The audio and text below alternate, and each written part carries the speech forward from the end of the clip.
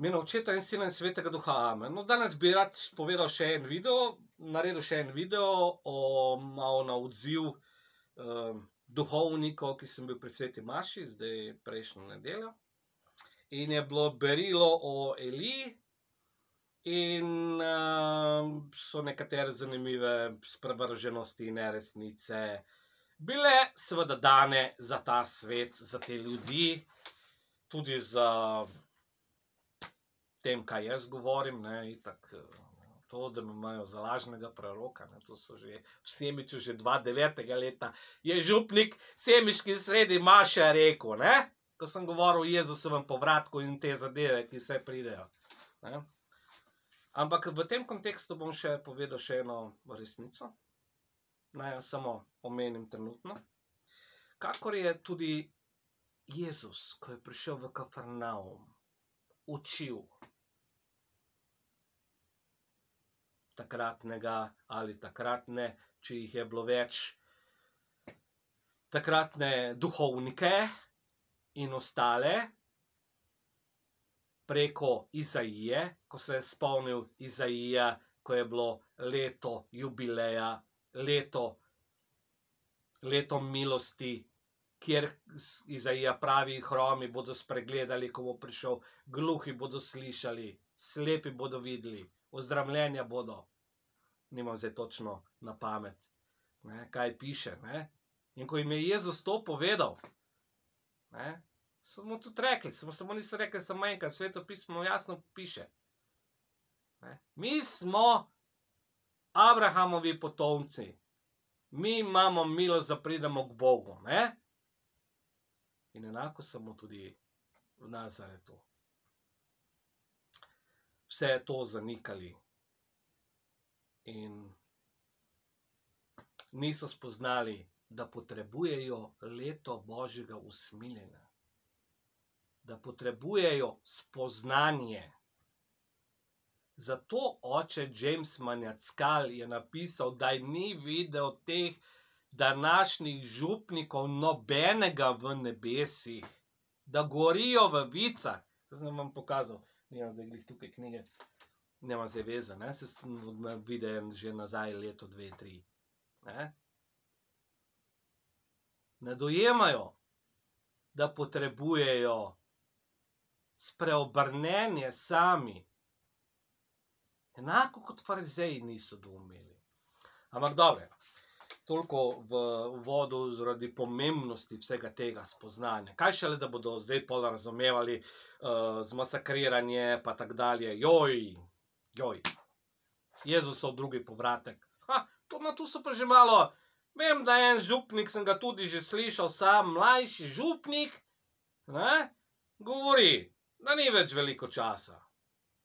Na srečo se najde pač tudi takšen duhovnik v Sloveniji, ampak je res malo bolj svet, ne, vse tisti, ki vidimo, ja, ja, moramo, ja, ta pa gre nekako po poti svetosti, ne, ostali so pa, pff, ko semiški, kot tako zdalje ostalo, ne, na tej, na tej poti. No, torej, kaj je bilo, ne? Žal, kot vedno pravim, ne, ni snemano, uh, najrajši sem snemal tudi Mašnika podržaje, ker je imel izjemne pridige, ne, ker bi mogli vsi v Sloveniji slišati še zdaj, ker važijo isto pridige Mašnika podržaja. In uh, Torej, uh, zdaj se ne snema, ne vidimo te po Ameriki, pa to snemajo in pol vidimo te sprevržene katoliške duhovnike, mnoge, ne vse, seveda ne dajo vse v isti koč, ampak te sprevržene, kaj delajo, kaj govorijo in tako dalje. Torej, žal, mi boste pač mogli verjeti, torej, tam, kjer sem bil, berilo je bilo isto seveda na nedeljo o Eliji, zdaj, kaj je pa kjer vzel duhovnik ven iz tega, kaj bo prebral ali kaj povedal, je pa čist drugo. Torej, uh, duhovnik, ki sem ga poslušal, ki sem bil pri sveti Maši, je rekel, ne, da je Elija je mislil, da je na ta način več kot Bog in da bo Bog uh, udaril zdaj v času uh, Ahaba in Jezabele, ker so ga preganjali, ker so ga hoteli ubiti, da bo udaril in ubil Ahaba in Jezabelo in da bo on kao ne, zmagal nad njimi in pol je bežal čez puščavo in uh, no, pol je bežal čez puščavo in kaj se je nadaljevalo. Preč to sploh ni res. Te duhovniki učijo nekaj, kar je ne svetopisemskega. To je na prvem delu sestavljen. Ne? Nikjer v svetem pismu ne piše, da bi Elija uh, hotel smrt Ahaba ali Jezebele. Ne, ravno nasprotno. Piše, da je Bog klical, da bi rad umrl. Ampak Bog ni hotel, mu je poslal angela, da je dam ti angela, da boš lažje čez puščavo. Do Sinaja, ne? Torej, umrl ga je prosil. In zdaj, ko to zavajajo, seveda tudi v nedeljo, ljudi, ne? In gre se seveda tudi zaradi tega, tudi v duhu časa, o katerem jaz govorim.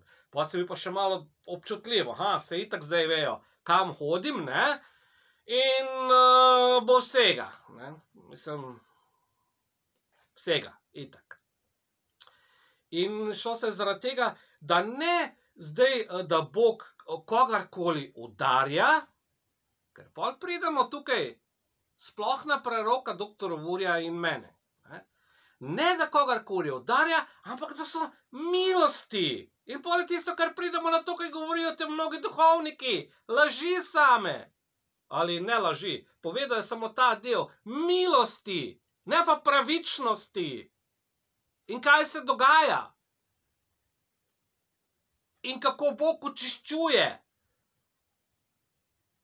Sploh preko preroka dr. Urja, no par dni naj omenim samo nazaj, 1. avgusta je dal, da bo potres tam, kjer so bude, ne?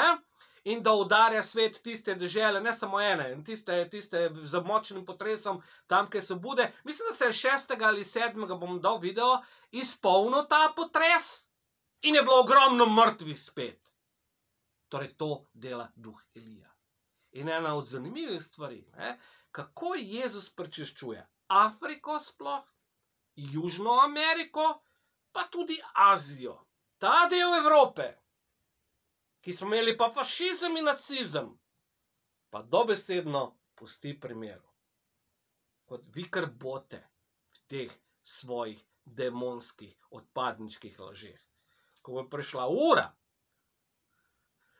bo ne prva svetovna vojna, ne druga svetovna vojna, tako sem jo videl, ampak to, kar sem jaz videl, je itak pravim, da gledajte, kdo je starejši, ne čakati. Ne boljše, da greste, da greste prej ko pa, ali pa vsaj vice, ko bodo bi čakali to, kaj se bo na zemlji zgodilo. Pa da se naštavljamo zdaj okoli tega. Ne? Torej, to je prva zadeva. Povedala ži, in govori o milostih, da Bog ni temu naredil. In ko je ne, rekel preroka Izaija, in sem se z enim kolegom tudi pogovarjal, in sem rekel: čak malo, kam ima ta župnik isto sveto pismo, kot imam jaz, ali obstajajo dva sveta pisma, ali deset svetih pismov. Dobre, se vemo, obstajajo sveto pismo za že za homoseksualce, ne, pa to niso homoseksualci, to so sprevržene spolne prakse, tako kot te, ki so dali. Zdaj so dali v eni državi zakon, da se več ne reče homoseksualci, homoseksualci, ampak da se reče sprevržene spolne prakse, kar je sicer edino pravilno. Ne. In uh, ima ta duhovnik isto sveto pismo. Ker sveto pismo, katerega jaz berem, pravi, da je dal Elija ubiti 42 otrok, zato ker so ga klicali, da je čelal. Torej, kje je sveto pismo zdaj?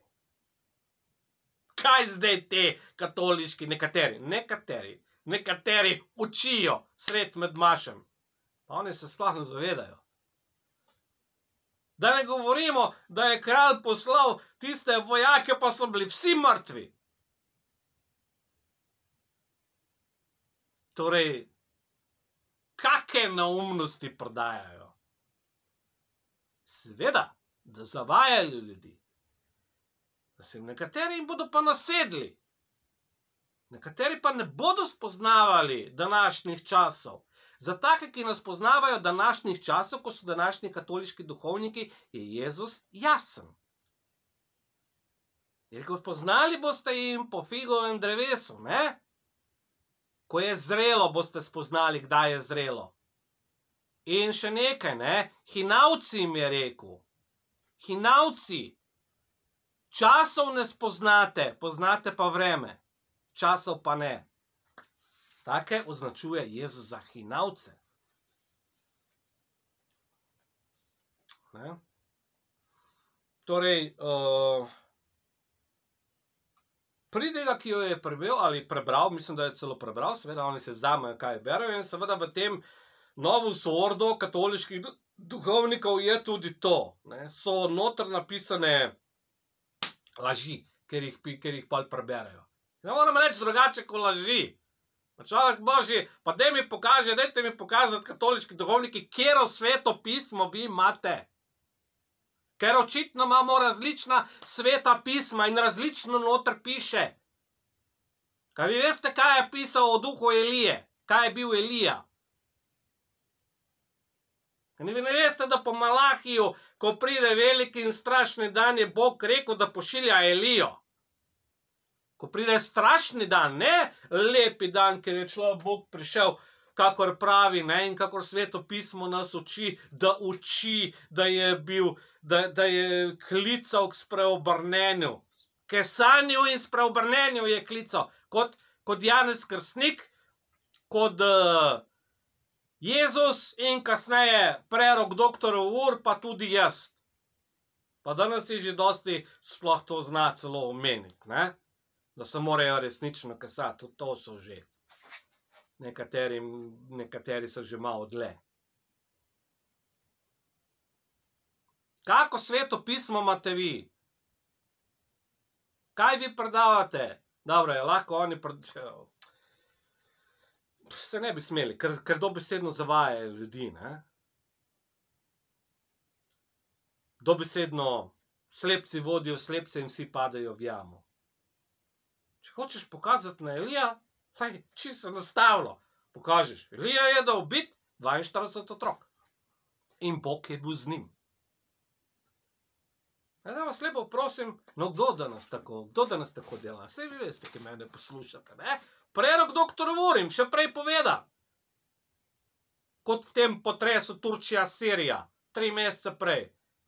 Ki že prvega je, ko je bilo 3500 mrtvih udarov in povedal, da bo veliko mrtvih, ker ni bilo spreobrnjene kasan in je rekel, da bo itak še.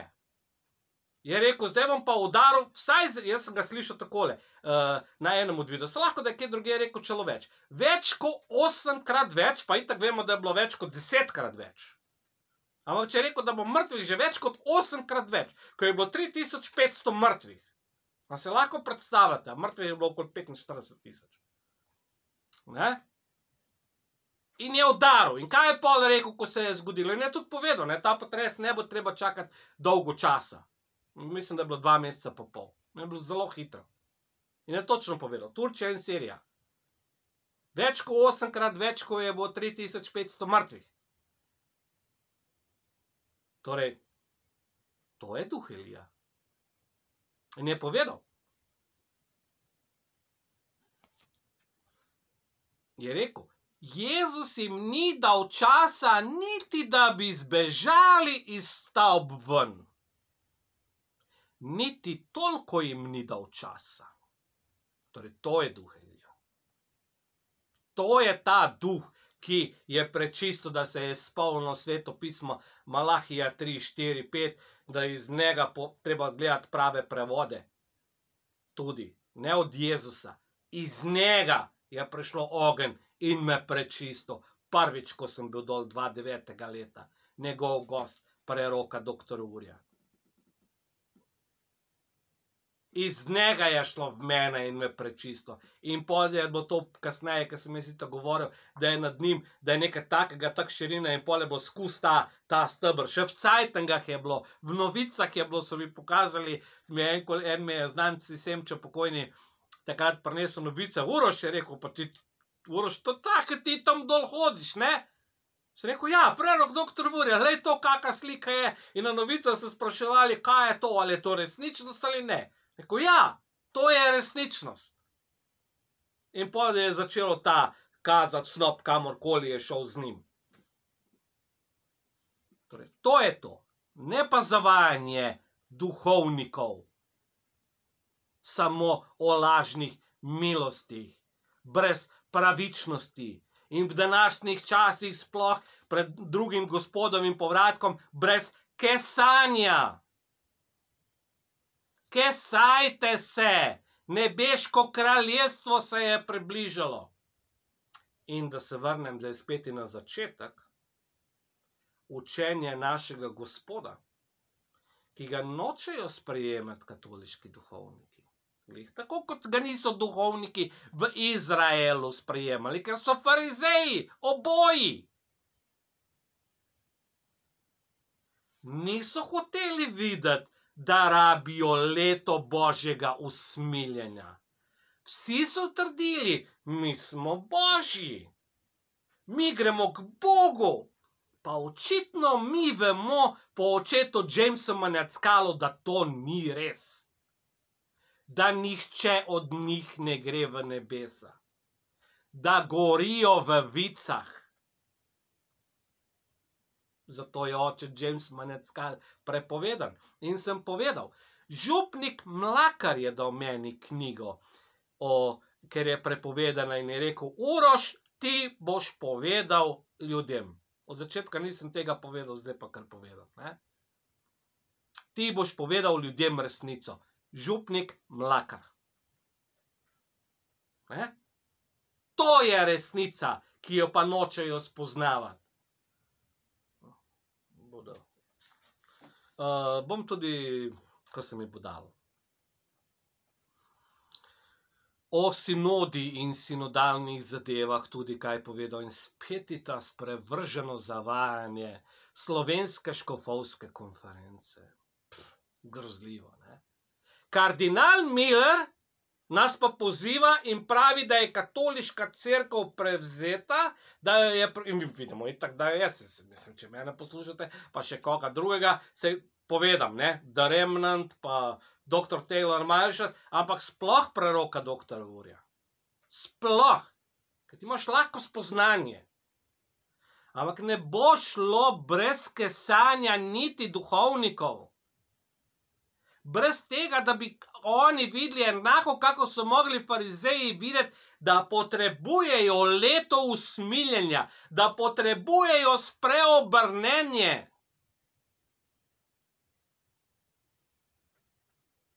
Ne bo šlo.